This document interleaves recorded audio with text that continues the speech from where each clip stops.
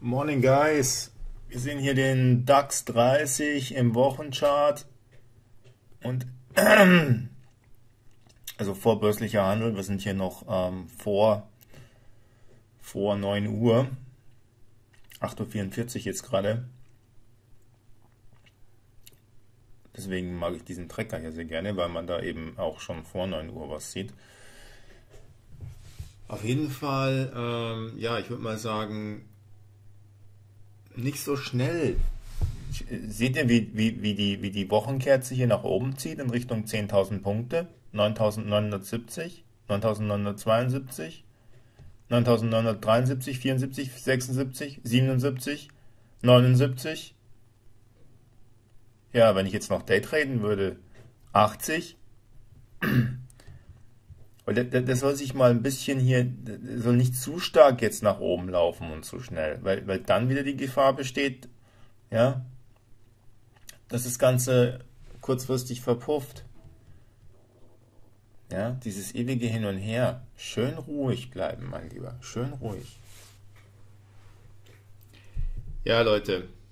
Ich habe hier gestern nochmal ein Video nachgeschoben, irgendwann gestern Nacht um Mitternacht oder sowas. Wir werden sehen, was da heute auf uns zukommt. Und beziehungsweise morgen und dann ist die Woche eh schon wieder vorbei. ich muss jetzt ein paar, paar Sachen arbeiten hier, weil ähm, sehr überraschenderweise gibt es doch einige Firmen, die tatsächlich noch was tun. Und wenn die was tun, dann muss ich auch was tun. Ähm, beziehungsweise ähm, meine Kunden. Und von daher ist es alles, ähm, es tun sich da so ein paar Para Parallelwelten auf. Ne? Also manche sind komplett, die haben komplett out of business und einige, die sind extremst im Stress. Ja. Ähm, aber wen es natürlich wieder am stärksten trifft, das sind die ganzen kleinen, ja, die offline, die Geschäfte und äh, diejenigen, die eben auch nicht irgendwie digital was machen können, wo halt alles im physischen Business sind, ne? also die quasi Souvenirläden und sowas, die keinen Online-Shop haben. Also der ganze Tourismus mit anderen Worten, die ganzen Teppichhändler ja, auf der Straße in Italien, alle out of business. Oh, ja. Ähm, ich weiß nicht, wer von euch schon mal in, Italien war. Ähm, die ganzen ähm, ja, Afrikaner, die letztendlich die 20 Euro Gucci-Brillen äh, auf der Straße verkaufen, die irgendwelche Chinesen im Hinterhof ähm, in Neapel produzieren. Ja, ihr kennt das Spiel dort. Naja, ihr könnt euch mal eine Doku reinziehen von, ähm, schaut mal auf YouTube. Wie heißt es jetzt? Galileo, glaube ich, oder so. Ne? Und gibt da mal einen auf dem Kanal. Ähm, nach wie nennt sich jetzt diese Ware? Fälschungen, aber von, von Markenartikeln. Ne? Ist dann natürlich riesengroß und das ist natürlich alles offline. Klar. Ähm, ist immer ganz lustig, wenn du zum Beispiel in Rom bist und auf, das, auf der spanischen Treppe und dort dich einfach mal ein bisschen äh, ausruhst oder so vom Sightseeing und siehst dann diese, diese, diese Straßenhändler und äh, zu, zu gewissen ja, Tageszeiten kommt dann ab und zu die Finanzer vorbei, ja, und tritt denen in den Arsch. Ne? Da müssen die sozusagen ihre Sachen packen und dann kriegen, werden die ein bisschen verkloppt. Ähm, eingesperrt werden die fast gar nicht, die werden einfach nur vertrieben, ja, weil das gar nichts bringen würde auch und weil die gar, gar nicht so viel Gefängnisse hätten. Und, ähm, und dann siehst du, wenn da wo die Finanzer ist, das, da, da ver, verpissen die sich dann, ja. Und am anderen Ende, wo also es ist wie so ein Katz-und-Maus-Spiel, ja. Und es ist ganz interessant, als Tourist sich da hinzusetzen, mal einen Kaffee zu trinken, sich ein bisschen auszuruhen und dieses Spiel mal zu beobachten. Naja, ich war, ich war ja do, da, damals ähm, öfter mal dort, ne?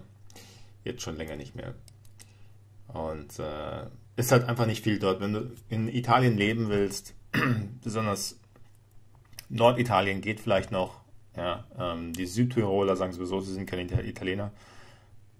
Ähm, aber alles, was südlich ist von Bologna, ja, Verona, Bologna, Venezia, schon Äh, das ist auch nicht nur Tourismus, äh, ist auch keine Stadt, wo ich leben wollen würde. Aber selbst Florenz ist nur Tourismus, ja. Da gibt es uns nicht viel zu, zu tun. Ich war dort so häufig, es ist eine super schöne Stadt, aber du kannst entweder dort nur Tourismus von Staat angestellt sein oder ähm, Lehrer, ja. Und äh, dann hast du natürlich das Paradies auf Erden, verdienst natürlich auch nichts, aber musst nicht sehr viel tun, ja, als Lehrer in Italien. Nee, nee. Am besten noch Sportlehrer, weil der, der Unterricht fällt ständig aus, weil es nämlich keine Turnhallen gibt. Ja. ja. In Rom, in Florenz gibt es keine, ja, nicht so wirklich äh, ausreichend äh, Sportfacilities, also Sporthallen und so weiter. Wenn du dort Sportlehrer bist, hast du eigentlich quasi immer frei, kriegst trotzdem dein Gehalt. Ne? Also es gibt da Sachen in, in Italien, ähm, da könnte ich euch ewig lang erzählen. Vielleicht sollte ich mal ein Buch drüber schreiben. Ja. So, jetzt sind wir fast schon bei 10.000 Punkte angelangt, meine lieben Damen und Herren, während ich hier ein bisschen von Italien erzähle. Ähm, 9.980, 82. Ähm, ja, also ich glaube mal, dass wir bis es 9 Uhr dann sozusagen offiziell der Markt öffnet, sind wir mal ganz locker bei 9.000. Hätte ich doch gestern noch ein bisschen Siemens-Aktien nachgekauft, ne? Also man kann wirklich zusehen, äh, wie das Ding halt in darauf läuft. Wie ich es gestern schon gesagt habe, 10.500 Punkte, pff, äh, sieht jetzt aus wie ein Katzensprung. Ja, äh, vor zwei Tagen haben uns noch groß gefragt, ob das möglich ist. Naja, so ist die Börse, meine Damen und Herren. Jetzt sind wir schon bei 9.991. Ja. Also ich wünsche euch viel Erfolg weiterhin und behaltet die Nerven. Das muss ich äh, auch immer wieder zu mir selber sagen, deswegen sage ich es auch zu euch. und äh, vergesst nicht noch was zu arbeiten auch, ja. Ähm, das gilt auch für mich. Also bis dann. Tschüss.